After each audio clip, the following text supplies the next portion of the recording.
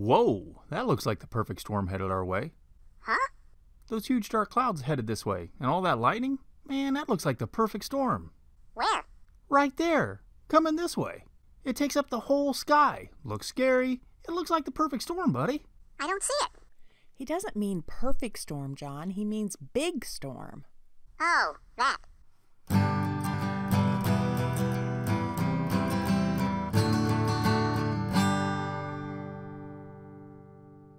Hey, Circle. Glad you could join us today. We really enjoy having you here. You know, beginning a life with someone who has autism isn't easy, especially when you have no experience with autism to reference. I mean, just the acronyms alone are enough to make your head spin. It goes something like this The GP referred us to the CMHC to see the PhD in order to administer the MASI to John. The PhD gave a DX of ASD, ADHD, ODD, and SPD based upon the DSM 5. Of course, in the DSM 4, the DX would have been ASP and not ASD. They suggested we consider ABA or CBT and also recommended an ST evaluation, followed up, of course, by a visit to the LCSW for some family therapy. Now, his MSW is working with him on his ADLs, but he still hasn't grasped the concept of picking up after himself, which is sending my own OCD into overdrive. Can you relate? Now, add in the fact that autistic thinking naturally seems foreign to a neurotypical person. It's no wonder I had so many fails early on. I still love you. Thanks, buddy. In the early part of the relationship, I'm not sure which challenge was bigger for Bella keeping up with John or coaching me. You're still my biggest challenge. You dork. I've made so many mistakes over the years. I mean, it's a wonder Bella hasn't sent John and I both packing. So today, I thought I'd share with you some of my finer moments. But first, just a small disclaimer. Warning. The following program contains graphic scenes of stupidity performed by one man who thought he knew best. It was my first time watching John while Bella was gone. That's a scary way to start a story. Uh, I'd say it was somewhere close to a year into our relationship, and Bella had gotten called into work on a Saturday.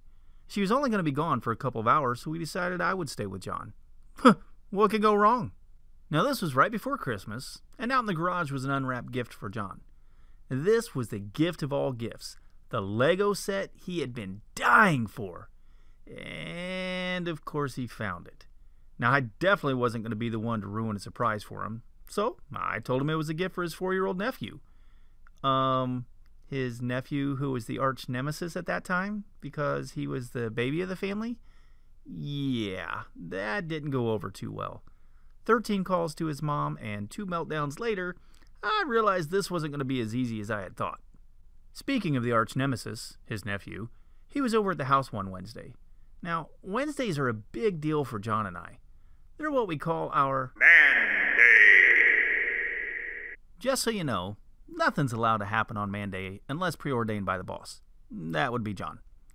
I couldn't very well just ignore the four year old, so I tried to include him in what we were doing. Needless to say, this did not make the boss happy. So, how did I fix the issue? I told John that if he couldn't be nice, I'd just play with his nephew. That's right. Just take the root cause of a meltdown, completely disregard it, and then try reasoning your way out of it. I found the sign on his door afterwards.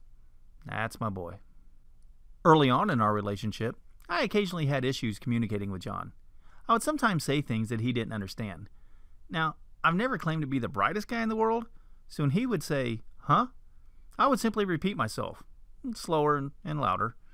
This usually happened three or four times before Bella would reword it for me. Now, you would think I would catch on after this happening several times. Nope, it took me about a year. Then there was the time I had a cold. John asked if he could have a drink of my tea, and I told him no. I told him that I was sick and might be contagious, so he probably shouldn't drink after me. Now, he didn't know what contagious meant, so I explained it to him.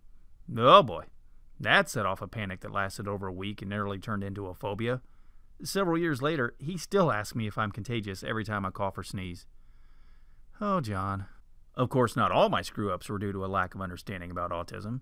Sometimes I knew better and did it anyways.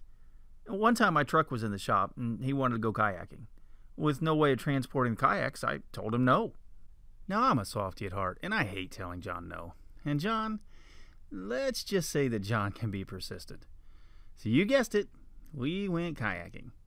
This meant we carried two kayaks a half mile to the river, then we kayaked half the distance we would normally go before turning around just to row all the way back.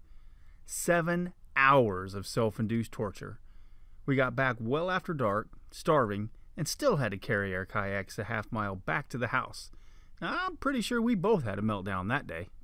And I can't leave out the time he agreed to let me teach him to drive. We live out in the country and we're just about a half mile from home. No traffic, no stop signs, no kids, simply a straight shot home, then a turn into the drive. A turn that almost took out the mailbox! He told his mom I used the F word. Come on now, John. He didn't use the F word. Yes, I did, several times. The mailbox is only standing because God Himself moved it. I know He had to have hit it and wiped it out. My favorite and most memorable fail of all time, though, happened shortly before we moved in together. We were to the point where I was staying with Bella and John pretty much every weekend. And of course, on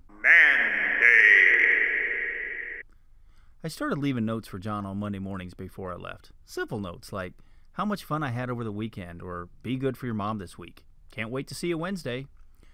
After a few weeks of doing this, he asked his mom if I would please stop leaving him notes. You see, one of his brothers lives out of state and mails him notes. Notes mean you're not coming home. That's my boy. Years have gone by now, and I still make mistakes, and I still continuously learn more and more about John what works, what doesn't. Sometimes my mistakes are from lack of understanding. Other times they're just not preventable. And, yeah, there are times when I should have, and probably did, know better. Sounds a lot like raising any other kid, doesn't it? The differences are less than others would guess, and more than they'll ever know. So, who's ready for a question of the week? How do you describe your child to others in two sentences or less? Leave your answer in the comment section below, and we'll share them next week. Never forget to live in faith and not in fear, especially when things get tough. See you next week, Circle. Bye!